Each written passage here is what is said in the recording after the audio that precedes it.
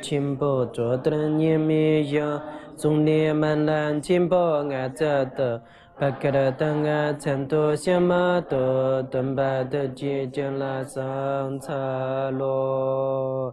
年轻若今年杨开盛，讲话都结成了烟了，姐妹碰着要不说话的，工作的多巴破阿穿觉罗。Lo 丹巴达巴丹巴萨吉扎涅瓦萨兹勒班泽杰潘佐帕波吉佐达玛南罗德永在吉拉宗巴索瓦德。为了度化天边无际的众生，请大家发无上的菩提心，并且如理如法的谛听。上节课呢，哈就讲了这个菩提心的的本体和分类。那菩提心的本体的话，是以这个大悲源于众，源于一切众生，以这个智慧源于这个佛果啊。啊，菩提心的话有三种分类，啊，依心力而分啊，就是说，啊，菩提心的话可分为这个如国王般的这个发心，啊，如船夫般的这个发心，还有这个如牧童般的发心。啊，以本体分的话，这个啊，菩提心可以分为这个四种菩提心和这个圣业菩提心。啊，以地界分的话，那菩提心可以分为啊，质量道啊、加行道这个圣解心发心，啊，一到七地增上一乐之发心，三清净地艺术之发心，以及的话这个佛地端正之发心，啊，如果想要这个真实升起这个四处菩提心的话，那首先要这个修持慈悲喜舍四无量心，啊，四无量心的话可以分为这个有缘和无缘两种。那有缘的事物量心的话，要对应啊所缘和这个形象去啊修持；啊初学者的话，修学无缘的舍心的话啊，要以这个如梦啊、这个如幻等这个幻化八意来这个啊修炼内心啊啊。如果说是已经开悟了啊这个真悟者的话，那直接以这个啊无分别的智慧来摄持的入定啊。啊，如果广修的话呢，那四无量心啊，就是说要修这个慈悲喜舍四无量心都是需要修持的。啊，如果是中修，那这个就要修这个啊慈无量心和这个悲无量心。啊，如果是利修的话，那只修独一无二的这个悲无量心啊就可以了。那初学者的话，最好呢就是说完整的这个修习四无量心，才能达到这个一体的这个效果啊。很多都像立正者的话，就修一个悲无量心，就啊圆满修量的话，那就比较困难。广而广修这个四无量心的这个方法的话，就有四种啊，就是一呢，就是一窍诀之修法；二呢，就是一次第之修法；三呢，一力导之修法；四呢，就是一轮番之修法。啊，一窍诀之修法的话，即是先啊修啊舍无量心，再依次啊修这个以下的三种无量心。啊，如果不能就是啊，对众生一视同仁，那慈悲心行就是容易偏堕一方，啊，没办法完全清净，啊，这样一来的话，那就只能获得这个凡住的果报的，没办法就是说获得解脱的功德。那修持舍无量心的话，又分散了，就啊，一呢就是如何思维，二呢具体修法，三呢就是修量和利益。啊，思维的话，我们就是从个啊八个角度去啊思维这个舍无量心。啊，分别是呢一第一个呢就是从这个三世因缘观察清渊不定，二呢就是从总体是思维啊清渊不定，三呢就是从我执的角度啊分析清渊不定，啊四呢就是啊从同行等流果啊分析清渊不定，五呢就是从一切众生啊酬乐避苦的愿望来修啊这个平等舍。第六呢，就是思维一切有情啊，本心是苦啊，无需分别。七呢，第几呢，就是从知母念恩来思维啊，对治这个贪嗔之情。八呢，就是从无常啊、空性的角度去思维，无有这个亲缘啊。对以上道理呢，仔细啊思维后呢，啊，正是这个观修这个舍无量心啊。这样呢，第二呢，就是啊具体修法。啊啊，舍无量心的这个具体修法的话，就是舍无量心的这个实修引导啊。虽然呢，这个啊实修引导大家正在这个修持，但此处的话就是有必要这个详细分析啊，扩展思维啊，以增加大家对这个实修的这个体验啊。一呢，就是前行啊，就是说啊，做好这个做前准备啊，对不是？啊，啊比如这个啊，这个关手机啊，等等啊，就是说安排好其他这个琐事也等等啊，还有这个发下这个誓言呐，啊，哪怕就是啊，答应父母来召唤自己，也绝不啊，就是说啊，出租啊，这样啊，宁则也不舍此誓言啊，然后呢，做生理意的调整啊，这样啊，第二呢，正行，然后进入正行的观修啊，观修的话前的话，先用这个五到这个十分钟来维忆以前所修的法义。啊，即我们前面所说的这个世外前行啊和皈依的这个修法，啊，以免这个忘事啊，这个，啊，然后呢，就是开始修这个舍无量心，啊，首先从这个过去、现在、未来三十四维这个轻言不定啊，啊，我们知道普通世人的话就是贪恋清方啊，嗔恨这个敌方，啊，对陌生人的话是漠不关心，那这些是妄想分别的话，都是这个未经观察而造成的。啊，如果从这个啊过去、现在、未来三十七四维这个轻言不定的道理的话，那就能升起这个平等舍心。过去啊，第一个对吧？啊，从过去式来说的话，那就是无论是啊仇敌还是亲友啊，这样啊，包括我们这个自己啊在内啊，就是在辗转升起的过程当中的话，那彼此没有不当过这个父母亲啊这个亲朋挚友的啊，只是因为呢业力的这个。啊，迷幻药让我们遗忘了，互不相识啊。就是，我们经过的这个胎藏的话，这个很多人这个以前前世的这个啊，这个亲人也好啊，怨敌也好，或者普通哎呀，哎，就是说哎，就想不起来的这种情缘啊。啊，如果善加思维抉择的话，那这个时候的话，那我们为什么要对他们升起这个啊贪嗔之心呢？啊，如今的这个仇敌的话，虽然不择手段的这个灾害于我。让我这个痛苦不堪，但在以往做这个父母亲啊，这个亲朋好友的时候呢，那曾经给予我啊不可估量的的帮助，那保护我免遭无量的这个伤害啊。啊，比如就是说他这个前世啊，这个作为我的母亲的时候呢，就是说做好今生的这个母亲啊，也是一样的这样。啊，就是说精心啊这个养育我啊，这个照顾我，那为了我的这个快乐幸福啊，不辞劳苦啊，费尽心血。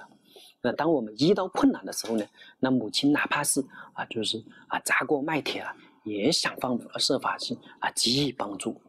这个不计任何回报啊，或者呢，母亲是牺牲自己快乐啊，宁愿自己这个受痛苦啊，也会给子女带来这个快乐，这样他们对我的这个恩德的话是非常深厚的，那我们怎么能够舍弃他们？啊，虽然因为这个啊，这个轮回转世啊，这个我们不记得这个以前的因缘了，啊，但这个但这一份这个恩情的话啊，不可能这个由于这个不记得啊，就啊被抹杀去了。就像今次的这个母亲一样的话啊，哪怕他们已经老了啊，没有能力再照看啊，就是说我们呢没有能力再帮助我们呢，甚至呢我们就说已经啊阴阳两个了。但母亲对自己的这个关爱的话啊，我们也肯定啊，就是说我们稍微就是有一些良知的人，肯定会这个永远铭记在这个心中的。这样，当然就是说那些人就说啊，这个没有这个良知，那就没办法的这样一下。所以呢，就是说我们怎么可以呃，就是说因为眼前的一点点损害呢，就彻底这个翻脸不认人呢？啊，非要就说嗔恨报复才罢休，完全不顾这个生生世世的这个恩情呢？那有的道友说，就是我和母亲的关系不好啊，这样没办法升起这些体位啊。这在后面的这个啊知母啊念恩报恩的修法啊这个里面的话，我们再进一步的来来啊这个阐述了。而今生的这个我最贪恋的这个儿女啊、爱人啊等这个亲友啊，在前世作为啊我的这个怨敌的时候呢，也曾经无数次掠夺过我的财产，啊剥夺过我的生命，或者砍断过我的头颅肢体啊，这样。那想想眼前的这位亲人啊，在前世里的话，他们是怎么样像这个恶魔一样的，就是啊这个松啊这个目露凶光啊，一脸凶残呢？那想想他们就说啊，怎么样这个心怀鬼胎啊，那个啊施展阴谋诡计而谋害你啊，这种，或者呢就是啊以恶毒的这个语言来嘲笑啊攻击你啊这样，或者呢以这个鞭笞抽打等这个种种这个酷刑摧残你啊，那就是用尽了这个一切手段夺走你心爱的这个一切，那摧毁你的人生啊，啊就是把你折磨的就是说生不如死啊。那我们这样的话，就是我们有什么必要？因为今生暂时的这个一点因缘，就把对方啊执着为最爱或者的一辈子的这个亲人呢？啊，如果因为就是说他曾经利益过你啊，就一定要执着为亲友，百般这个爱护的话，那为什么不以这个他前世伤害过你而自为仇敌？啊，《安世前书》中记载的话，就是啊，明朝著名的这个学士方孝孺。那他的父亲在年轻的时候呢，就是啊，曾经选中为一块这个一块地啊，准备为这个祖先啊这个墓葬。结果呢，他晚上呢就是梦见啊这个一位红衣老人向他这个礼拜哀求说：“啊，您所选的墓地啊，正是我的住处。啊，敬请您宽限三天，等我的子孙全部从此地搬走以后，啊，您再动工，我一定会重重酬谢您。”说完呢，就是啊，又再三叩头，啊，方父呢，就是醒来后呢，就说不相信这件事，啊，竟然呢，就是专门派人去挖掘，啊，发现了这个数百条红蛇，啊，于是呢，就是啊，是啊，下令将蛇呢全部烧死，啊，当天夜里的话，又梦见啊，那红衣老人啊，哭泣的说，就是我已至诚哀切的恳求你，啊，你为何还要将我的这个八百子孙全部烧死在烈焰中呢？你既然灭了我的前族，我也一定要灭你的全族。后来呢，就是啊，方父生下这个方孝孺，啊，他的舌头的话，啊，就是宛若这个蛇形，啊，长大后呢，为官啊，就是一直做到这个翰林学士，啊，燕王朱棣啊，也都是啊，后来的这个明成祖嘛，就是啊，发动了靖难之役啊，这样攻破南京后呢，就是啊，有意借用啊方孝孺的这个威望来招揽人心。啊，希望他来这个撰写新皇帝的即位诏书，但方孝孺的话坚决不从，啊，于是的这个触怒了这个燕王，啊，被灭十族，啊，所有的亲戚连同他的门生，通通是遇害，而统计呢，就说被杀害的人的话，啊，就说正和当年被杀死的啊蛇数呢是一致这样，啊，所以在世间人当当中看来的话，那个啊方教主的话光耀门楣，啊，是父亲最疼爱的儿子。那也是族人的这个啊荣光啊，是天差这个学子的榜样啊。谁知道的话，这个儿子啊，不过是前世的这个冤家啊，为了讨债啊，才来这个投生的。呃，阿含口解十二因缘经云啊，只以三因缘生：一者父母先是父子前；二者子先是父父母前；三者冤家来做子。啊，父母勤苦筹财，以之便死。啊，只得用之，啊，视为啊父母先先父子钱，子行筹财产，以之便死，父母用之，啊，视为子父啊父母钱，啊，有时子生百日、千日便死，父母便忧愁恼，视为冤家相重生。啊，经中说的话，那子女呢，就是以这个三种因缘投生，啊，就第一种呢，就是啊以啊这个父母前世欠子女的钱。第二种呢是子女前世欠父母的钱，第三种的话是啊冤家来做这个子女啊这样，那父母辛苦筹财啊没来得及这个享用啊就死了，那子女得以这个享用啊这是父母前世欠子女的这个钱财，啊反过来的话子女辛苦辛辛苦苦的这个求财没来得及这个享用啊就死了，那父母得以享用啊这是呢就是啊子女欠父母的钱财。啊，有时这个子女啊单身啊，这个百日千日啊就死了，这父母就是哀痛不已啊，这是啊，就是说怨敌仇生的这个结果。啊人们的话都认为赌博、饮酒啊啊或者败家入侵的这个子女的话是冤家啊，但没有知道就是说啊，光耀门楣啊，权倾天下的子女啊也是这个冤家。最后呢，就说因为最后可能会啊有啊这个祸及宗亲宗族啊断子绝孙呢，就说那世人的话争夺这个财产，无非是为了这个子孙后代啊这个谋划罢了，啊汲汲营营啊奔波劳累一辈子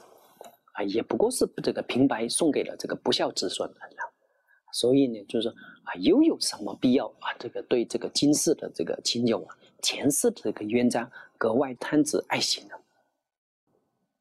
啊，就是又现在又讲到这个现在啊，这样分析一下，这样。啊，再观察就是说啊，今生啊，我对这个燕敌嗔恨啊，就是说啊，对方呢未必把我这个当成这个啊，看成这个仇人。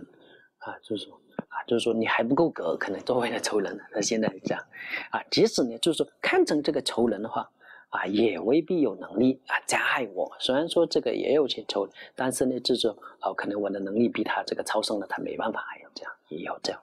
还有可能的话，就是说啊，因为彼此的这个竞争或这个争斗啊，啊，争上自己的这个名义地位啊，那就是说，换个角度来说的话，就是啊，经过他人的调解啊，啊，我们或许会变成这个亲友啊，甚至呢，变成这个比啊亲生骨肉更亲密的这个亲人啊，这个啊，这啊，就是说啊，就算没有这个他人的调和，但是呢，双方坦诚相待。啊，互相这个认错，说啊你不对啊，我也有这个错啊。现啊现在开始，我们不该啊像以前那样啊，就说或者呢通过这个贡献财物来这个坦诚这个道歉啊，这样啊那就说一来呢，就是怨敌也会啊变成这个亲友啊彼此和睦的这样。啊，从佛法上看呢，就是说啊，正是因为这个啊怨敌加害这个外外外的外援的话，才使我这个遇到这个佛法。再者说呢，就是啊，百年的这个布施啊，不如一日持戒；百年持戒不如一日修忍，修忍啊，就是说，那佛陀的所有相好的话，都是通过这个安忍获得的。而修安忍的对境的话，就是这个仇敌啊，这样啊，如果我能能够修持这个修行这个安忍的话，那就是说厌敌的话，就是饶益我的这个恩人啊，这样。很多人也是通过这个厌敌的话，这个来能去入这个佛法的这样。啊，所以说呢，这个冤敌的话，对我们的恩德大的。现在的知亲好友，虽然对我们就是说啊关怀备至，相互这个牵挂，情意绵绵啊，就是说啊，当我们这个遭受痛苦或这个不幸的时候呢，那他们比自己出现的这类事啊事情的话，还要这个悲伤。啊，实际上的话，这个全部是啊往昔互相灾害的，说在这个在作怪的，而且呢，就是。啊，亲友的关系的话也是无常的，啊，也许败不走的这个将来的话，我们也会这个啊反目成仇啊，分道扬镳啊，这个那父母不仁，子孙不孝啊，亲朋这个亲朋好友这个互相背叛的这个事情的话啊，这个可以说是啊屡见不鲜了。这样，那最亲的这个人呢，不知道什么时候就成为这个自己啊这个最怨恨的这个敌人啊，这样的个关系关系了，我这个这些关系网的话。那我们这个见到了、听到的这个还是很多的，这样啊，所以说这些关系也不一不用一一的这个展开来说的啊。从佛法上来看的话，就是说啊，父母亲友的话其实是自己的这个坑害者，那他们的话为我这个寻找这个终身伴侣，实际呢是把我这个捆缚在这个轮回的绳索上，这样还教导我这个如何啊制服敌人。啊，扶助亲友，啊，发家致富等这个各种作恶的方法，啊，这也是就是无疑会这个导致我这个从无法从这个轮回当中啊获得解脱。所以说呢，这个父母的话，很多都是遭受自己这个自私自利，为了以子私利，造作种种恶业啊，也在所不惜。啊，即使我有幸执意这个上师持戒修行，啊，这为了承办父母亲友的利益，那我的戒破了，禅定退了。智慧也丧失了，啊，也就是这个退失了，戒定会散学，或者呢，因为他们的阻碍而耽搁修法，错失良机，那可见啊，知亲好友啊，甚至比这个怨敌更可怕。从上面来看的话，今生亲怨是不定的，又有什么可谈可成的呢？啊，未来呢，就是啊，如果如果观观察未来的话，啊，假设这个啊，我们就说还没有这个啊，就说没有这个修行成就，那今生的这个啊亲友的话啊，就是说来生的话，也许会成为这个水火不容的这个怨敌。那先世的怨敌的话，那也许为啊变成就是说抚育自己的这个亲啊这个父母亲友，啊一切呢这一切的话都像这个演戏一样，就是说啊现在呢啊这些人呢扮演我的仇人。啊，另外一些人的话，就是啊，饰演我的这个啊，这个亲属这样，啊，上一辈子的话，也许啊，作为这个角色的话，就会互换了这样。那演仇人的这个啊，扮啊，就是说扮着这个啊，就是说啊，扮作这个亲属，那演亲属的呢，啊，这个众生的话，那就变成这个仇人，啊，所以说现在就因为我们就是说啊，被这个无名所遮蔽啊，没有智慧了知以前的这个事情，那对未来的前途啊。也是这个茫然无知的，所以唯一知道的话，就是啊，眼前很短暂的这个时光，但是人为的话啊是非常啊漫长的，在这样的过程当中的话，如果能够这个唯一前世，或者以这个长远的这个啊目光啊，就是说啊静下心来，就是说观察，那我们就是就能就是说深深的体会到啊所谓的这个亲人和这个仇人的话，那根本就是无常的。啊，其实就像演戏一样的。啊，由此可见的话，啊，在三世当中的话，啊亲啊这个亲和怨啊，就是说没有真实的这个自信。那亲友的话，啊这个某时的话也会这个转变成这个怨敌，怨敌的话啊某时候呢也会转变这个亲友。这样的话，一切的话都是不固定的，都是无常的。啊，今生今世的这个亲啊，这个亲冤的话啊，也是啊虚妄不死的这样。那我们怀着这个贪嗔的这个心，知恶造罪啊，那导致自己这个堕落恶趣啊，这样做啊，究竟有什么必要呢？啊，如是这个反复观察思维啊，最后明白啊，亲也是冤，也是中庸啊，以此破除这个贪执；冤也是亲，也是中庸啊，以此破除这个嗔恚。那中庸也是亲也是冤，以此这个破除这个舍字，最后啊普遍的对一切有情发起这个平等心啊，只要我们就是啊努力修持啊，就是说我们肯定就是能够这个真实升起这个轻烟不定的这个感受啊，即即使片面的这个啊贪心嗔心啊仍然存在，但我们能够意识到啊这个是错误的啊，以此的作为慢慢的这个改变。啊，其次的话就是以这个知母念恩报恩啊，破除这个愚者。本来这个人经常给我造威言，经常这个给我造谣，经常给我做不利的事情，我心里面愤愤不平啊，这样特别怨恨他。还有呢，就是说对我的这个亲人的话，哎，特别贪执，他遭受一点不好啊，这里逼他这个本能他又贪心。但是呢，通过关系亲缘平等后呢。我一看啊，这个冤敌以前也是特别亲的呢，还有亲人以前的话可能打过我、杀过我。如果我有这个神通记忆起来呢，肯定不会执着了。啊，就是说当你就是说啊，修了这个一段时间后呢，啊，就是说体会比较深的时候的，就是啊，未对的话就是啊，仇人啊没有特殊的这个嗔恨心，不想去害他，啊，对亲人也没有太多的这个亲切感，也不愿意这个去利益他。对他们好像漠不关心的一样的啊，亲烟啊，似乎很平等啊。其实的话，这是一种就是说无利无害的这个愚舍，或者是呢就是无忌的这个平等心啊。这是一定要经过的修行过程啊。当然，这样的这个平等舍心的话，并不是我们最终的目标啊。如果停留在这个地方的话，就是会成为这个修法的这个障碍，也是非常危险的。这样，所以呢，我们这个必须要这个超越它，这样。但是呢，就是说无忌的平整心的话，并非就是说完全没有必要啊。这啊，首先呢是要设法将这个片面的这个贪心呢、嗔心降下来啊，熄灭粗大的贪心、嗔心啊这样。然后呢，进一步这个思维，众生虽然对我这个啊有利有害，但是呢，我应该不计这个前嫌啊，忽利有害的一面，而只强调众生对我有利的这个一面。啊，也就是就是按照这个知母念恩报恩的这个修法来进行这个思维，这样的话啊，对所有的这个众生的话，就升起平等的慈悲心啊，这才是这个四无量心中的这个舍无量心下面呢就是知母。啊，西宫遍及的这个地方的话，就是充满这个友情。啊，友情遍及的地方的话，这个充满这个业祸的痛苦。那被业祸痛苦折磨的一切友情，从无始以来都曾经当过自己的这个父母亲友等，而且的话，做我父母的次数不是一两次，而是这个无数次。啊，这就是啊子母的这个内容。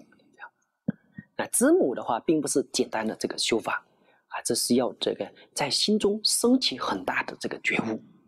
那一般来说的话，就是说，啊，除了这个有限的几位亲友以外的话，那对我们呢来说，其他不是敌人，就是毫无关系的人。那即使依靠这个修持这个舍心呢，那将一切这个友情观为这个亲疏平等啊，也就是说很容易落入这个愚舍的。而这样的啊这个心态的行为呢，往往这个以菩萨道被造而止，这样。啊，所以呢，就是我们要这个设法将一切众生的话安立为这个母亲，因为母亲啊是我们关系最亲密、最直接的这个亲人了。啊，如果能树立这样的信解的话，那就能认识到，那他们并非与自己没有关系啊，不可置之度外，更不可以随意对待的，因为呢，这些众生呢都是我的大母亲，啊，就是由这个知母啊引申念恩报恩。啊，那样对待就是啊，任何一个众生的话，才能不分这个啊尊卑啊高下，啊升起真正的这个大慈大悲，啊真实行持有益众生的行为。啊，《法网经》说就是孝名为戒啊，就啊就是啊了知众生呢都是这个母亲，啊才有啊普行天下的大孝。啊，这个菩萨戒呢是以知母为所依，爱一切众生也是源于知母。啊，如果三序中没有这个啊升起这一认知的话，那就不具足这个以悲心缘众生这一条件了。那以菩提心的缘分啊就断了。这样啊，如果只用某个经教来思维这个道理的话，啊，内心呢就是深处呢很难升起这个定解。啊，立根随法行的后学者的话，还是需要这个以正理来这个成立啊，就是以理正啊的。然而，能够运用正理啊，这只有一条。这一条正理的话，即是这个法称论师在这个四两论中所说的这个啊，有情受生时，呼吸根即时，非不待自累，唯有身体生，及其过分故，倦具结生力，彼何惧何无？何后无结生？啊，一切有情追生受生时的话，呼吸五根。六十等啊，没有不关待自己这个前世的这个啊同类因的啊，对果的本体的产生起着直接作用的一种因的话，就是叫做啊同类因，也叫做这个进取因，就啊，如果认为这一切这个只由这个身体产生，那么就有极大的这个过失。为什么这样说呢？啊，如果不是啊以前是同类因啊作为前提，而单单由这个身体产生这个呼吸。心识等的话，那这个这个身体的话，就由这个地水火风四大组成。那啊，这个自大的话，就成为这个产生心思的这个因了。那依靠这个外在的山河大地等呢，也可以产生这个友情了。这样的话，显然这是不合理的，以限量所见的这个同类生的这个因果规律相违背的。这样，那什么是同类生的这个因果规律呢？啊，就是就是俗话说常说的这个种瓜得瓜。种豆得豆啊，这样啊，瓜呢必须由瓜的种子来产生啊，不可能从豆的种子产生这个啊，产生出瓜来的，因为豆的种子和瓜的这个和瓜呢不是同类因的这个缘故啊。那世俗名言中呢，如果事物不需要依啊依靠同类因来产生，那则任何事物啊都可作为这个因来这个产生果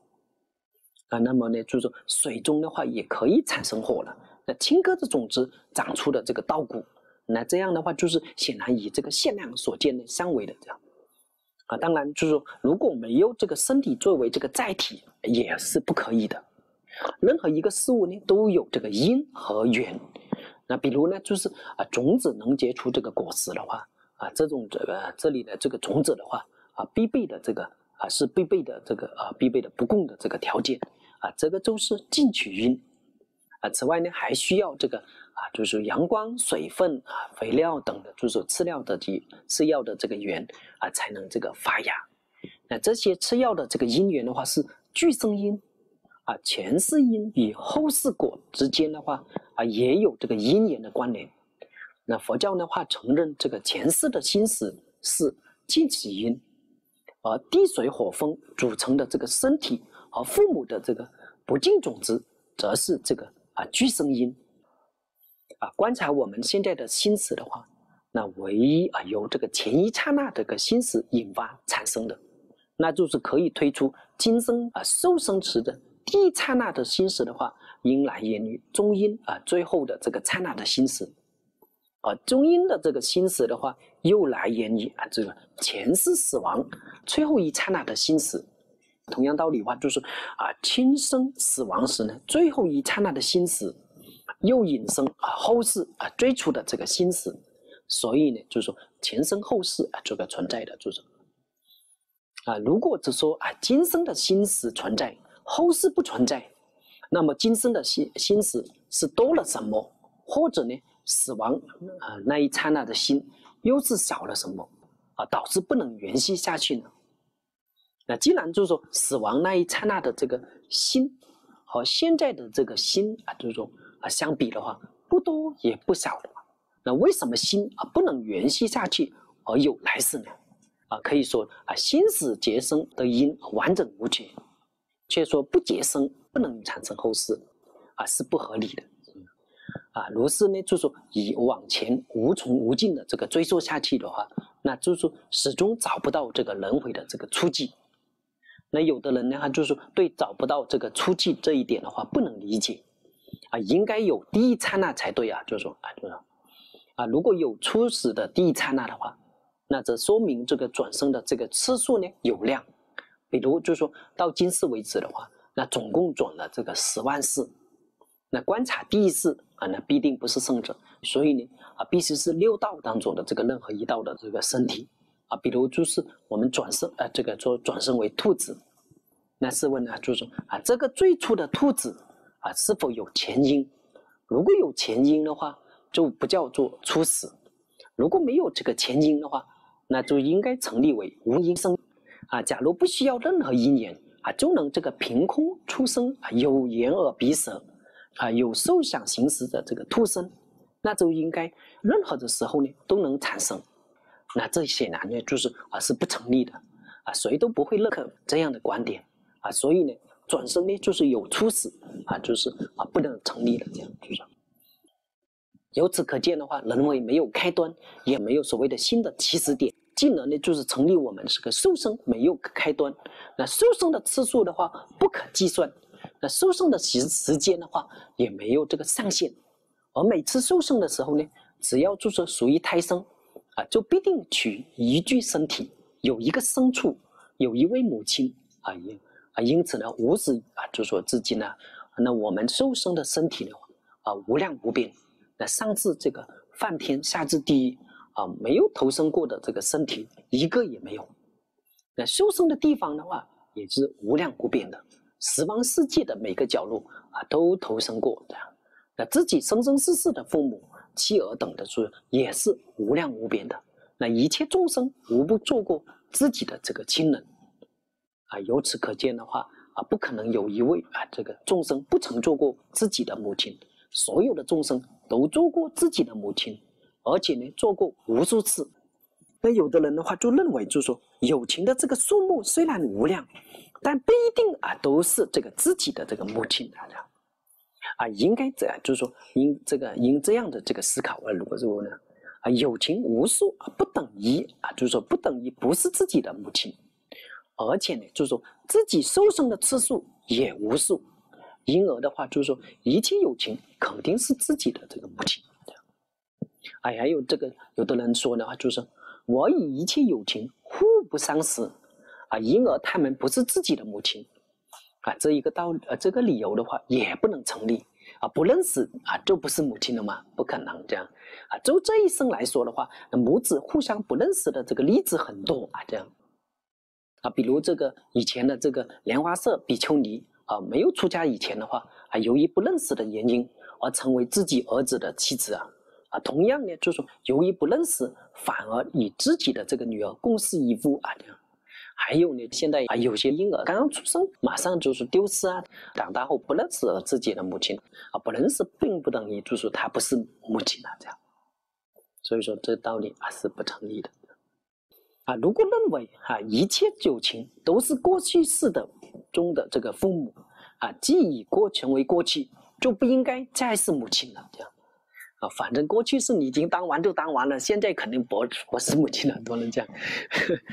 那么呢，就是说昨天的母亲在今天已经过去了，那应该不再是这个母亲了，这样。所以说呢，你的母亲昨天的母亲不啊，这个已经过去了嘛，这样现在不叫母亲了，算了，这样的。那这样能不能行啊？这个显然啊是不可能的。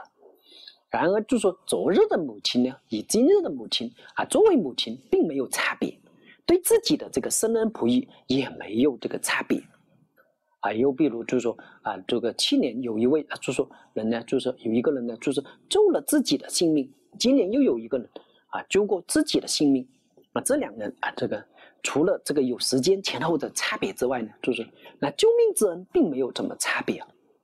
啊，同样的道理啊，那过去啊，就是自己过去生中啊的母亲和今生的这个母亲，都同样是自己的母亲。对自己的生人也没有这个不同，啊，由此的话，啊，心中的话已经确定一切众生必定是我的母亲，啊，这也是就是说便知啊有情过去啊现在未来一切生世的这个佛陀以第十义来所证明的这个事实啊，就是前面引用的例证啊，下面的就是引用教证来这个说，啊，《梵网经》中说，一切男子是我父。一切女人是我母，我生生无不从之受生，故六道众生皆是我父母。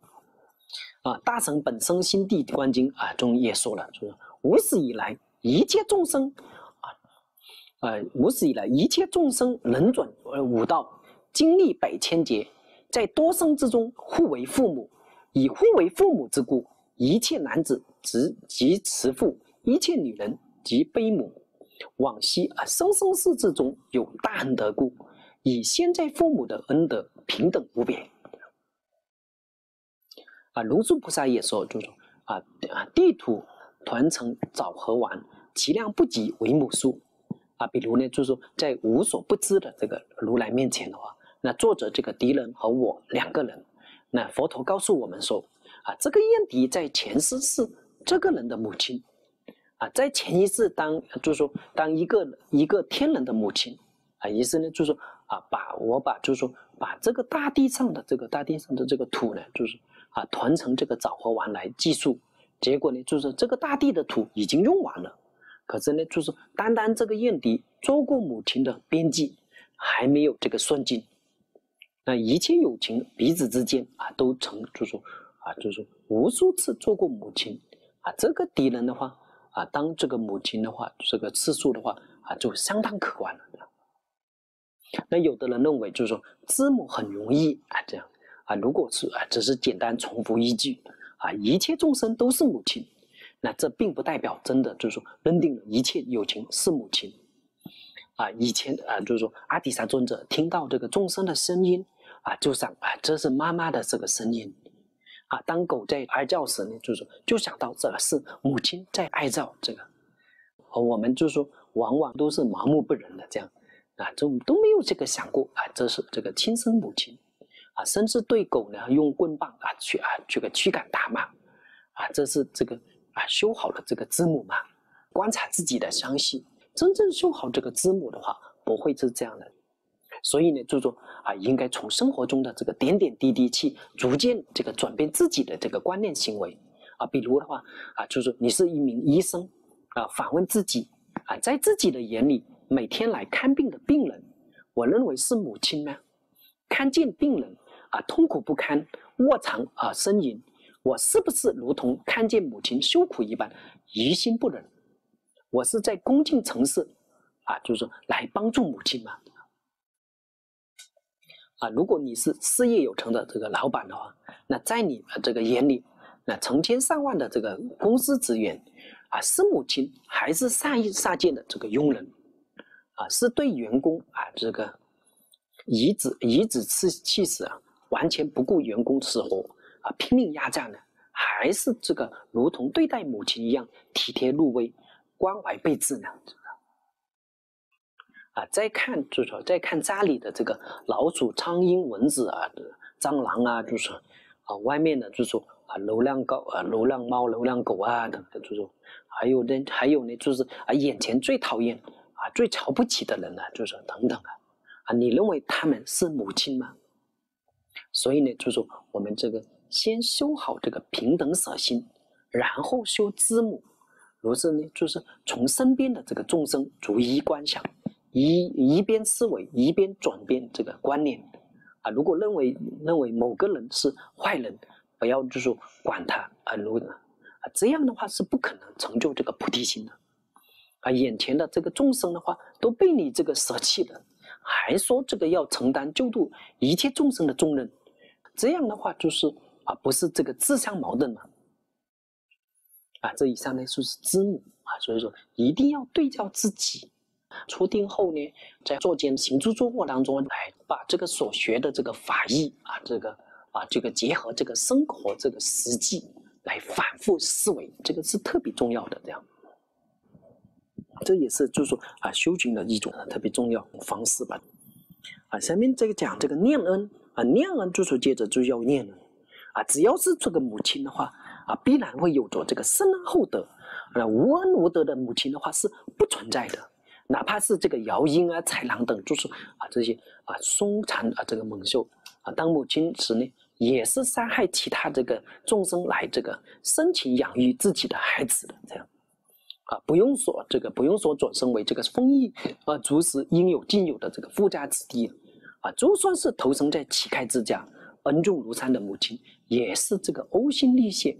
啊这个历尽啊这个艰辛，不惜付出一切这个。来就是说养育子女啊，就是说啊，他呢就是披星戴月、早出晚归、孜孜不倦、饱经沧桑啊，甚至不顾脸皮啊，用痛苦和这个罪恶气啊祈祷这个食物，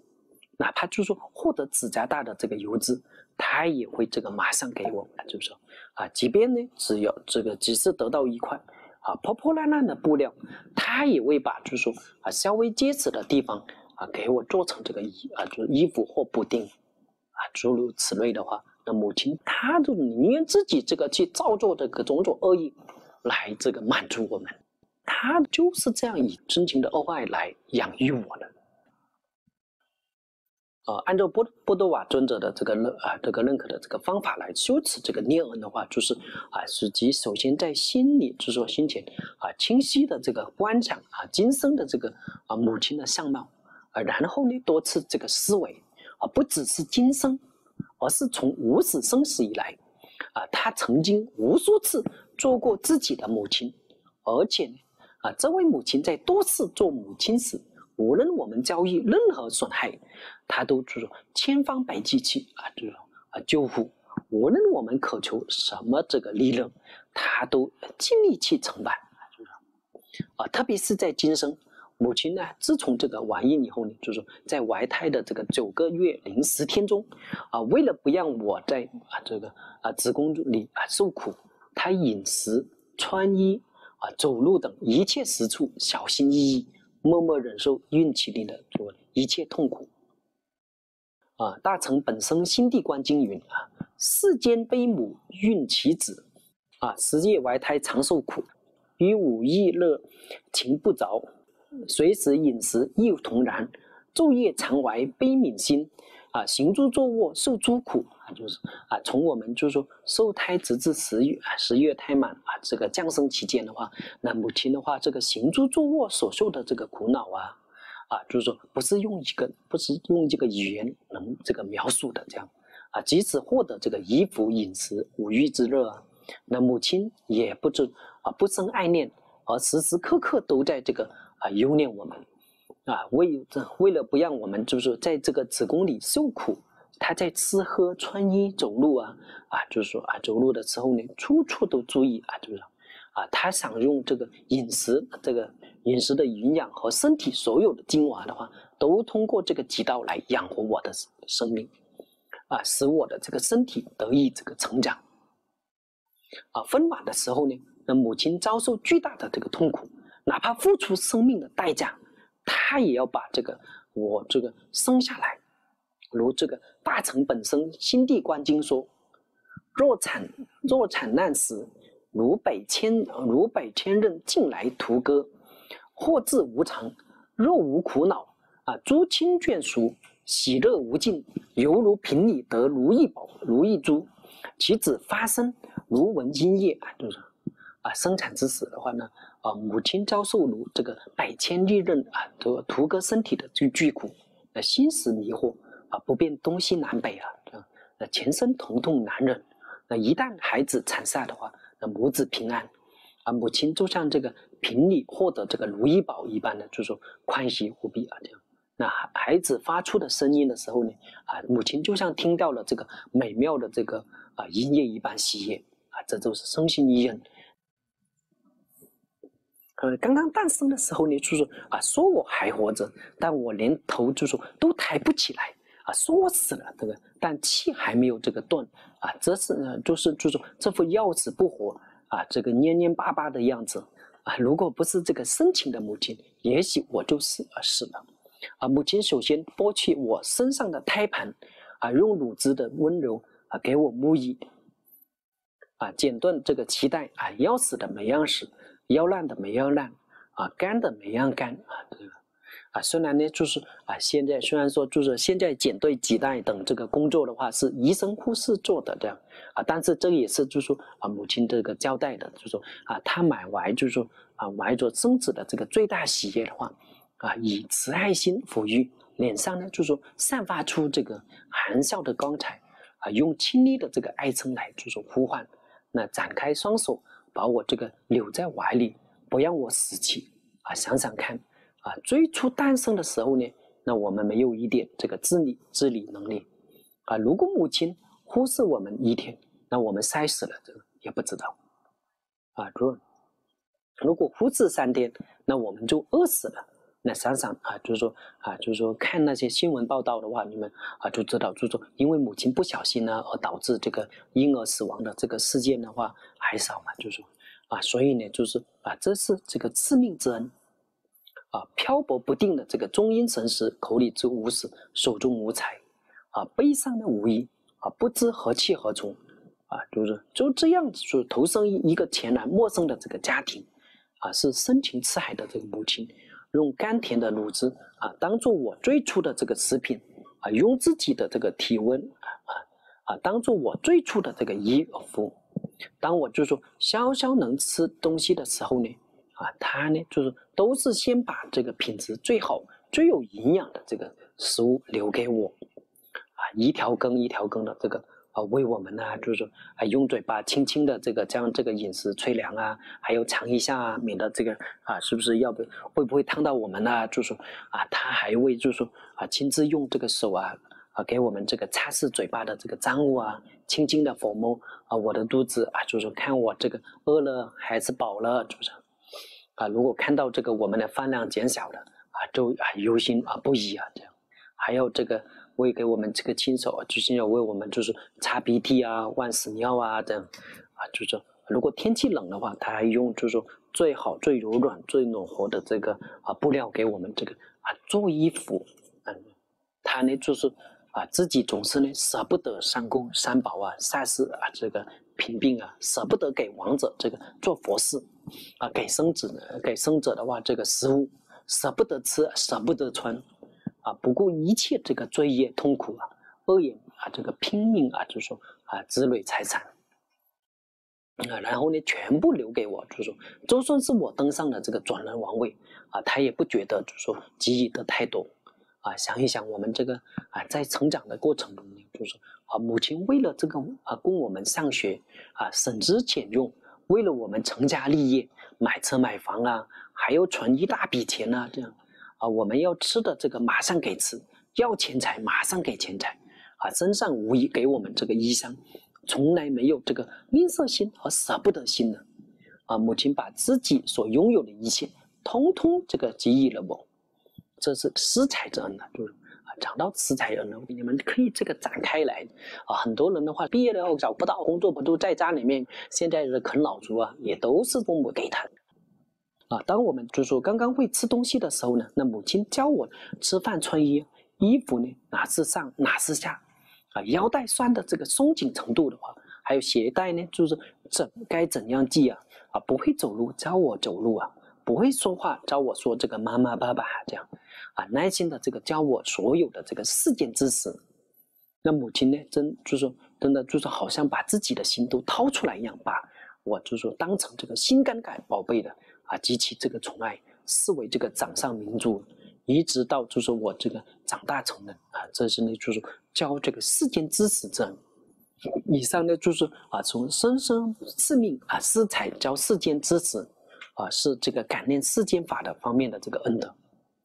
啊，其实的话，不仅在人道啊，这个母亲前世在旁生等，就是其他道中的话当中的，那我们的这个道中做我们的母亲的时候呢，啊，也是不惜啊，这个深深的这个不是不惜这个生命的养育照顾我们，啊，有一本这个古书啊，这个叫就是啊，物有如此啊，其中的话就是收集了许多啊有关母爱的这个可歌可可泣的故事。啊，以下呢就是摘取其中一则啊，就是啊，有一个就是说姓彭的人还擅长这个射箭。一次呢，他入山打猎，看到溪水边有只啊这个母猴正在给孩子喂奶啊，就这个张弓放箭啊，射中了这个母猴啊，母猴自知无法就是说穿河，就用这个劲就用尽啊啊气啊，就是说用尽力气抱起孩子啊，让他喝完最后一顿奶。然后呢，摘下啊几片树叶，把奶水挤在这个树叶上，啊放在孩子这个身旁，一边呜呜哀叫，好像在教呃孩子怎么喝这些这份奶水。最后一声这个嚎叫，啊气绝而亡。这个作为旁生的话，马太马上就要死了，还是对着小孩这个这么牵挂，啊书中。啊，这个书出这本书当中当中的话，还有很多这样的这个案例啊，可见的话，就是无论我们在轮回中的这个轮回当中的这个哪一道当中啊，就是说母亲对我们都是不惜生命倾注一切爱心，和今世的这个母亲一样，就是说全心全意的这个养育我、保护我的。啊，从佛法的这个侧面来说的话，就是我们今生就是皈依三宝，修学这个佛法。啊，真正承啊承办这个真上生与决定生的这个大毅力，啊，都要就是说依靠散满人生才能这个成办的，而这个珍宝人生也是大恩母亲所生，依靠大恩母亲的养育才得以成长，所以呢，就是说啊，今天能具有这个人生而有修习啊这个啊佛法的这个良机的话，完全是以啊这个由于这个母亲深情养育的这个恩德。啊，想一想，就说，呃，有，啊，现在有这个啊，这么这个健全的这个眼耳鼻舌身意啊，这个，啊，能够闻法、思维、修行，都是母亲长养的这个结果。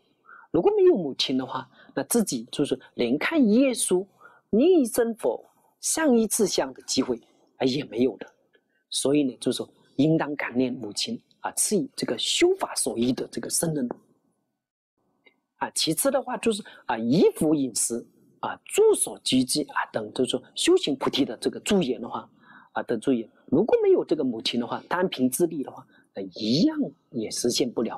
啊。由此呢，就是说感念母亲的这个恩德啊。再者的话，就是啊，佛子这个菩萨道啊，首先发殊胜菩提心，如果没有母亲，也没办法发起发起来啊。中间修学如海的这个菩萨心啊，如果没有母亲。也没有修学的这个对境，啊，如果不具备这个菩提心，啊，菩萨行，那没办法这个最终现前这个啊圆满这个佛陀的果位。可见的话，就是啊，从佛法方面来说，啊，母亲对我也有着这个啊大恩大德，啊，以上就是从这个四法和佛法两个角度来这个依念恩德，啊，这就是啊这个念恩的这个修法。那有的人，有的人说的话，啊，我的母亲对我一点慈爱关怀也没有，反而对我这个百般呵斥，这样，或者说呢，就是我一出生，母亲就把我这个舍弃了，我恨他还来不及这样，啊，这个如何谈得上念恩呢？啊，尽管是这样的话，就是啊，尽管啊，这个母亲的话依然对我们有着这个深恩厚德，因为仅仅从生生赐命的这个角度来说的话，没有母亲就没有这一世的这个身体生命，那其他的种种苦乐根本无从谈起，那修习佛法更是不可能的事情。啊，另一个角度来说的就是。啊，正是因为不仁慈的母亲，才使我们遇到佛法，它是我们就是说安忍的这个对境，而且呢，就是无始以来，他们呢，啊，就是说，哎，不止一次做过我的大恩慈母，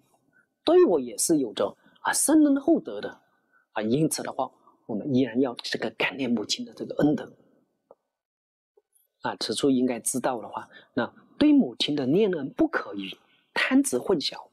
啊，即便收到这个眼泪不断的流淌，啊，仍需不断的这个观修。啊，关于就是说啊，知母啊，这啊，如果精通这个理论道理以后呢，再去观修，那这个这样的修力更强，不能就是抄说听听，大概大概就过去了。这样的话，那这样的话，心里面这个生不起这个量来。啊，综合起来观察的话，在无尽的这个过去生中呢。啊，就是说曾以慈爱养育过自己的母亲啊，多得可以就是说充满虚空。每一生喝过的这个乳汁，足以汇成无尽的海洋。每一生啊，让母亲伤心流泪流下的这个泪水，聚成这个四大洋。每一生母亲啊，赐予身体无量无边。啊，每一生母亲给过的衣子堆满这个大地。每一生母亲为我们做过的这个事啊，记录成书，高过须弥山。那每一生为我这个养育我们所造下的这个罪业，足以让母亲在恶趣中感受无量的这个痛苦。啊，总之啊，如果没有这个深入思维的话，不容易这个啊感念母亲的恩德。而一旦仔细思维的话，这样啊，生生世世的母亲的恩德，尽未来劫啊也诉说不尽。正是那句啊，就是常说的这个话，就是说恩德比海深，比山高啊。就是说啊，只要我们还在轮回中的话，来世的每一位母亲仍然以这个啊，就是同样的方式养育我们。下面这个叫报恩啊，一念母恩的这个之后呢话，就是说我们应当就是说啊，就是说知恩图报啊这样。那接下来心中这个思维，就是说为了这个我的这个平安喜乐，母亲一直以来。都是将利益胜胜利奉献给我，啊，就是亏损失败自己取受，对我可谓是深恩厚德啊。如果众生个个都已经成佛了，那我们就啊不必啊这个做什么了，这个。啊，真实的这个情况是呢，就是说一切老母有情正处在啊极悲惨的境地，啊，他们因啊就是无名障蔽而而被这个烦恼魔这个扰乱，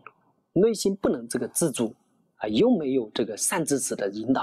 啊，疯狂的这个在轮回曲奇的这个山路上一路跌倒，冲上恶趣恶趣的悬崖，啊，甚至掉下去，啊，多劫之中，这个身体与地狱之火没办法分开。这样，如今呢，我们就说啊，有幸啊，就说移到这个大乘佛法，承蒙这个上师善知识摄受，明晓这个道的这个厉害。比他们就说好的这个太多了，那现在就是说眼睁睁的看着这个老母有情一步步的车跑向深渊，啊，作为孩子怎么能忍心坐视不管呢？母亲此时呢最希望孩子来救他，啊，子不救母谁来救母呢？啊，所以呢就说啊，现在该轮到作为孩子的我来关注母亲的疾苦了，心里有这个渴望求报恩的这个想法啊。这就是这个产生想要报恩的这个念头，啊，现实当中的话，啊，那些品行下劣的人的话，他在怎么在世间当中干了很多坏事，但是呢，他对自己的这个母亲非常执着，也对自己的母亲特别珍爱，承担报答母亲的责任的，甚至是啊这个旁生啊都不会舍弃大恩母亲，啊，作为这个大乘佛子的话，啊，如果舍弃无量母亲。对这个众生漠然而不正视，不去帮忙，只不去做度，一心只求自己解脱，实在是没有比这个无惭无愧的这个行为了。所以作为大乘行人的话，那我们应该就是想到啊，救护那些就是说有情的母亲的担子的话，就落在自己的这个肩上了。这样，那有的鲁人人就会说，就说前世的母亲我已经记不起来了，那他们已经改变了形象，那我为什么还要报恩呢？啊，比如呢，就是说向人借钱啊，私有名证啊，就是说。啊，就是说，能否因为这个不记得就不还钱了啊？这样也不可能。同样的话，就是对于曾经就是说啊，对自己施过大恩的母亲的话，那能否这个因为这个遗忘而不报恩呢？那显然是不可能的。这样，那我们也啊，就是说不能就是说因为母亲改变了这个形象啊，就不报恩了。这样啊，比如就是说今世的母亲年轻时特别漂亮啊。年老时的话都皱纹成了嘛，改变形象了。但我们也不可能说这个不是我的母亲了。这样，那有人说呢，就是啊，那些怨敌的话对我呢，就是如此加害，那我为什么要报恩呢？就是当母亲发疯持刀，哎啊，就是想要杀自己的儿子的话，那儿子的话不但不会恨他，反而会啊，就是说力求这个治愈他的这个疾病了。这样。那同样道理的话，燕迪也是我们的这个母亲，那只是一直中的这个无名的这个迷魂剑啊，行为才会这个啊如此颠倒了这样啊。如果说他没有这个业障的现前，如果是他有神通的，他记得我是前世的亲友，他也不可能去伤害我的这样。所以说呢，啊，我们这个理应对这个冤家啊仇敌这个做也罪报恩了这样啊。佛说父母恩难报经啊，说就说。父母遗子有大争议，哺乳长养，啊，随时张遇四大得成。右肩父父，左肩父母，经历千年，正使便利背上，而然无有怨心于父母，此子犹不足报父母恩。那父母的话，对孩子有这个大要义，啊，就是啊，母亲的话，就是以这个乳汁长养啊，随时随时保护培育啊，这样啊，如此。这样的话，就是才能这个长养四大的身体。即使这呢啊，千年当中的话，右肩这个担父，左肩担母啊，就是说父母的大小便拉在这个呃背上啊，这个面对父母的心的话，无有怨言，也不足以报答这个父母的这个深恩的啊，大称。大乘本身啊，心地观呃观经啊，包文平也说，就是善男子、善女人，为了报答母恩，一节中每日三食割节割取自己的这个生肉供养父母，还不能报答一日之恩。还有心地观经还说了，就是啊，世间高莫过崇山，悲啊悲母之恩啊高过虚名啊，这个世间重啊莫过于大地，慈母之恩重于大地。啊，若有男女啊背恩不孝，让父母生起冤念，啊，母亲一发恶言，啊，孩子随即啊张堕地狱恶鬼畜生啊道中。弥沙塞弥沙弥沙塞部和和西五分利说，就说啊，从今听诸比丘尽心啊尽心尽受尽受供养父母，若不供养得重罪啊。这样啊，如果能报答这个母恩的话。啊，即啊，即是这个智者所称赞的人了。啊，佛在这个《杂宝藏经》中说，就是我不但现在称赞啊慈爱孝孝敬，我在无量劫中也常常赞叹。啊，大方广如来不可啊，不思大方刚大方广如来不不思议境界经云：供养父母、和尚、尊师及世间中啊，诚挚咬意赖其恩者，应被啊应念倍增。报恩供养何以故？以知恩者，虽在生死不坏善根；不知恩者，善根断灭，这作诸恶业啊！故诸如来称赞之恩，毁背恩者，啊，对父母啊、师长等这个恩德者的话，那我们应当就是说依念其恩德啊，加倍报恩供养啊，这个，因为呢，知恩报恩者呢，就是虽然流转生死，但就是说善根不坏。啊，反观就是说，反观呢，就是说不知报恩者的话，那善根断灭，造恶这个造作恶业啊，所以呢，如来也是啊，这个称赞这个知恩报恩者，就是说呵斥这个啊，就是说啊忘恩负义之人，啊，杀至别人啊施给啊自己啊一杯茶，我们也要这个报恩啊，这样不知报恩的人的话，还不如这个旁生乃至。呃，乃至就是说，一直这我们说凡生当中一只这个狗啊，因为的话，即使给这个啊给一个，就是说给狗给这个狗呢，就是喂食，它也会这个啊，就是摇尾摇尾乞怜的这样。啊，佛在这个大方便啊啊，就是大方便佛报恩经中说啊，就是如来为一切父母，常常啊难行能行，难舍能舍，头目脑髓，国成妻子上宝上马，七宝连于车车乘车胜。啊，衣服、饮食、卧具、医药，一切啊，这个啊，给以勤修精进、持戒、不思、多闻、禅定、智慧，乃至具足万行，不休不眠，心无疲怨，孝养父母，知恩报恩，才能速成佛道。啊佛在《玄疑经》啊，《玄疑因缘经》中啊，这个教导教导这个阿难，就出家在家，慈心孝顺，供养父母，记其功德。啊，殊胜难量，所以者何？我自一念过去世时，慈心孝顺，供养父母，乃至啊，乃至生肉，啊，激活父母，啊，危急之恶，以是功德，上为天地，下为圣主，乃至成佛，三界特尊，啊，皆由师父。啊，古来高僧大德的话，都是这个大慈大孝、孝顺父母之人的。啊，后周时代有一位这个唐朝宗室，七岁就出家，名叫这个道丕，啊，名叫这个道丕法师，啊，十九岁时呢，他所在的这个长安城被战火啊焚烧一空，啊，他背着这个母亲啊躲避战乱啊，这个走进了这个华山，当时呢就是粮食昂贵，啊，道丕的话自己这个屁股不死，依靠乞讨供养这个母亲，啊，母亲问他问他呢就是吃了没有？他总是说吃饱了这样，啊，有一次呢，母亲说：“你父亲在霍山战时，啊，尸骨抛于荒野，你能不能收为啊这个收回来安葬？”啊，道丕呢啊，就说一路赶往这个霍山，他捡起一堆白骨，啊，昼夜诵经忏悔父亲的杀业，而且祈祷说：“啊，这堆这堆骨头里有转动的，就是我父亲的遗骨。”啊，这这样一心专注的念诵。啊，几天后呢，就是说有骷髅从这个骨堆里啊跳出，啊摇动了很久，啊道丕呢就是深信这是父亲的遗骨，啊就抱在这个怀里啊拿回来见母亲，啊那天晚上的话就是啊母亲梦见丈夫回家，第二天早晨啊果然就是鱼骨啊这个送到了这个家门，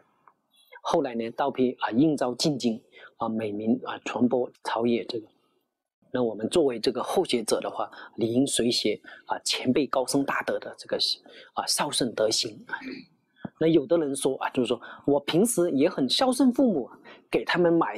给他们买这个保健品啊，带他们去旅游啊，这样有些人可能啊，如果父母离异啊，或者其中一方死亡，我还为这个这个为他找个老伴呢，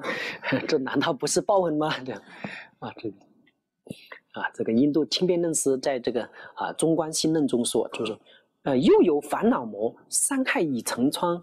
我如啊注灰水，反令苦病啊，反令反令苦病苦啊，意思是呢，就是啊，由于这个烦恼魔的这个伤害，众生就这个像长了这个毒疮一样，而我呢，就是啊，就像在这个毒疮上呢又加注这个啊石灰水啊，这样，那反而就是说。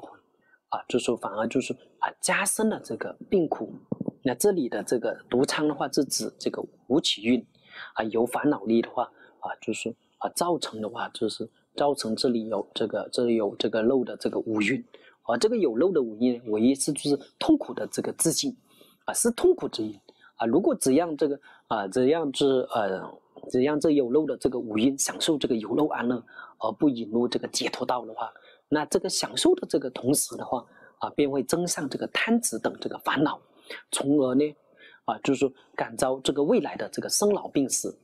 啊，从因上观察的话，那友情的心思始终贪执三有的这个圆满，啊，如果不教他发起这个出离心，只让他就说享受五欲，那只只会图啊这个增益串习常乐我净啊四种这个四种这个颠倒上，而成为这个苦因了。那怎么样，就说才算是真正的报恩呢？就是说，啊，秦悲论师在这个《中观心论》中继续说啊，就是说，如果有疑子，有若有于一生，持敬及及恩义，欲报其恩惠，除涅盘何有啊？如果这个对其他的个众生慈悲恭敬，报恩有义，啊，欲报答这个母恩，这除了啊，就是将他们安立涅盘道之外呢，还有什么别的这个方法呢？啊，要知道，就是说，我们就是说，会施有情、食物、衣服等，只是暂时消除他们的饥渴寒冷，啊，并不能给他们就是说带来究竟的利益，啊，只有这个令友情具足一切安乐，远离一切痛苦，我们才算是啊真正报答他们的这个大恩，啊，如啊如果啊能将众生安置于佛国佛国位呢，那他们自然能具足一切这个安乐，远离一切痛苦，所以呢，我们应在一切友情。置于佛位，根本说一切有不平安也云，啊，若父母无信心者，令助正信；啊，若无戒者，令持境界；若信谦者，啊，令行慧思；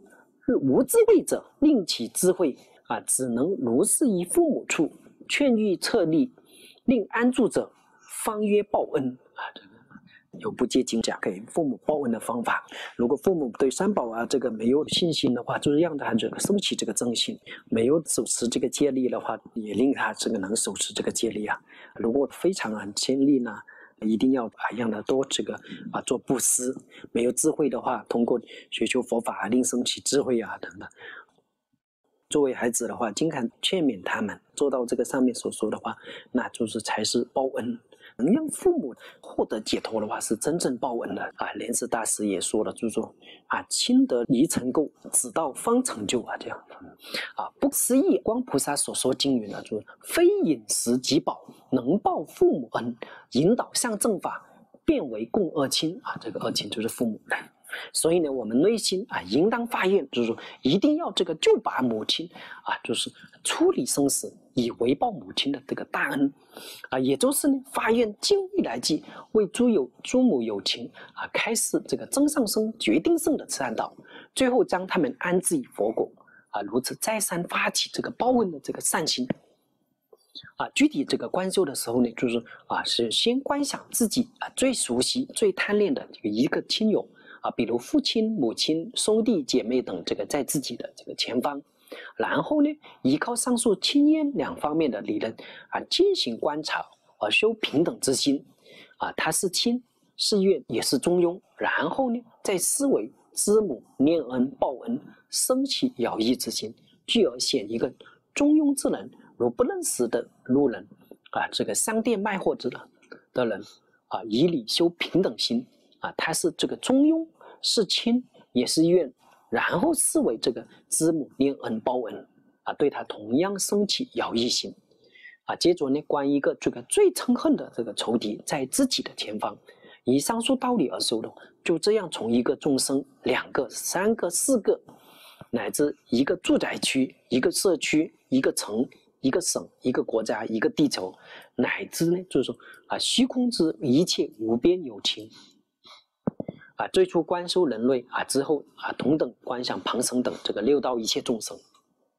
啊，如是一个接着一个按次体啊，这个啊以理观修啊，不可超越次体而直接圆一切有情修持，啊，否则一个有情没有修好，啊，直接啊就是圆一切众生说我已经修好了这个舍无量心，啊，这是啊不稳啊不稳固的啊不坚实的这个修法啊，就像泡沫一样，一捅就破了这样。那一旦遇到这个外境的话，还是会升起这个贪嗔之心的，这样。所以呢，我们应该注重次第认真的这个如理的这个修持，啊，修持的关键点的话，是我们一定要破除愚舍，啊，对，就是说一切有情升起平等的友谊心，希望亲烟为主的一切众生能熄灭烦恼，永远不再生这个贪嗔之心。啊，愿一切众生彼此之间的话，心皆调生啊！啊，在这般观察过修的这个过程中的话，啊，如果心感到疲惫的话，不想继续的时候呢，啊，不想这个跟随过去的妄想，也不迎接未来的这个需求，又不持续啊现在的分别念，啊，不敢不加改造悠然安住啊，这就是啊舍等次了。再度起心动念时的话，又进行观察啊，就这样啊，就是说通过观察、安住、轮番交替来修这个句子。第三呢，就是后行啊，现在这样。啊，于收作时对一切有情啊，无有轻烟啊，就是贪嗔啊，平等视为这个中等的这个对境。啊，愿熄灭一切众生啊的烦恼，永远不再是不再生贪嗔之心，愿一切众生彼此之间啊，这个心皆调胜啊，这都是舍无量心的修法。最后呢，就是唯向善根啊，反思这一座修的怎么样。啊，随后进入这个作间的修持啊，就是啊，看见呢，就是说令自己生贪生嗔的这个友情啊，因意念舍心的这个修法啊，即就是说他们为这个所严禁修持者无量心啊，知母念恩等这个观修方法啊，与前面是一样的啊。首先在心里面这个啊祈愿，愿一切众生的话都远离贪嗔之心。第二呢，就是希求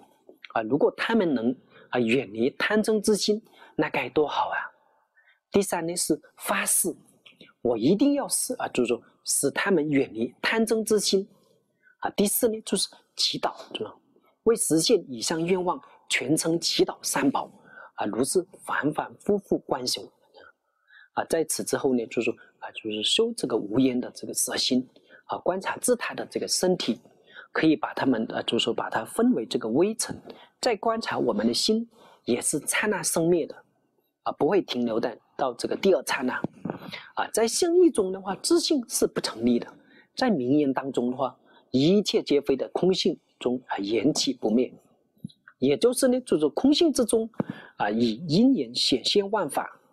万法呢本体是空性的这样，啊，因缘和合才能显现万法。啊，但是显现的当时啊，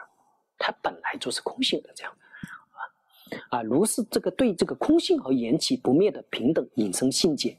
啊，引生这个定解，在不加改造的状态中安住，啊，这是呢，就是升起这个圣观的这个方便法。那我们打坐的时候呢，啊，修法的力量啊非常大，啊，所以呢，这个在打坐后呢，进入坐间时呢，一定要以这个入坐的定解来摄持坐间，不然的话，就是说我们入座修的虽然很好。好像就说能够很好的相应平等的平等的色心，但在不修的时候呢，啊，就是说啊，这个啊，这个行住坐卧啊，为这个随着这个外境啊所转，啊，落入原有的这个贪嗔恶习，啊，如此的入座和这个坐间不联系，那进一步啊，就是退两步啊，甚至退十步啊，这样，那我们修行就很难进步的。啊，就像一块铁放在这个火炉里烧的这个红彤彤的，那一旦从这个火里取出，哎，放在地上的话，那它又会会变成这个黑乎乎的，啊，所以呢，就是啊，这个啊，这个在坐间的话，这个啊，行住坐卧这个意念啊，应该就说意念这个入座所说的这个法意，这一点呢是非常关键的，啊，如是反复串习，在坐间对怨敌啊放下嗔心，对亲人啊抛下暗恋。要对所有众生一视同仁，等如这个等如这个父母啊这样，啊三呢就是修量和利益啊这样，啊那么我们就说修持守啊这个舍经呢啊舍无量心的话，就是要修到是个什么程度才算是彻彻底修成了呢？就是啊无辜观众者这个在这个大圆满行义修习当中说这样，啊行义书记当中这个说啊舍无量心之修量。啊，自他亲冤皆平等啊，就是啊，修习平等舍心啊，最后达到就是说啊，就是达到呢仙人请客般的这个心态啊。传说呢，就是啊，仙人啊，这个宴啊，这个宴请宾客时呢，就是不分高低贵贱啊，这个贤劣贤劣亲疏一律啊都宴请为这个上宾啊上座，一位为上座啊，同啊平等的这个热情款待。同样的话，对普天下的这个友情啊。啊，这个如果能就说不论这个阶层、职业、相貌、哎、种族，不论这个亲烟，达到自他这个亲烟皆平等的心境的话，那并且对所也不生这个嫉妒、嗔恨，一视同仁，啊，这就是这个有缘这个舍无量心的修量了。啊，八大人觉经云啊，人觉经云啊，菩萨布施等念等念冤亲，不念旧恶啊，不称恶人啊。那无量的哦啊，这个无言是啊，这个无言舍无量心的修量呢，就是啊，即是就是三世中升起诸法自性本来不生的之等性真物啊，如普世普咒信云：无恶注意无所思，法性菩提中生智啊，这样啊，如果能升起这种舍无量心的话，那一切功德啊，自然这而然的这个增长了。啊，如如猜摩猜摩婆地受记经云：常因爱与爱不爱，啊，就是说善有愿平等，得平等心矣，啊，福德速增长啊，就是对于这个挚爱的这个善友与不爱的这个怨敌，啊，如果能就是说做到平等对待，有了这个这种心之后呢，那福德会如这个树一般日日月月的这个增长，嗯。啊，这个禅宗这个大德虚云老和尚说，就是啊，这个假如把这个事情看得淡淡的，一切亲友冤家视为平等，不杀不盗，不邪淫，不妄语，不淫走，视一切众生平等无恶。啊，这个世人积如以积，啊，世人啊积如己积，世人逆如己逆，常发菩提心，则可以道念相应，亦可立地成佛。啊，究竟来说的话，这个无量的这个平等心的话，还。苏那么的耶，他们在这八年，多年年把在南派学着，结果那结瓦龙这半夜，做白做里做啊做啊说。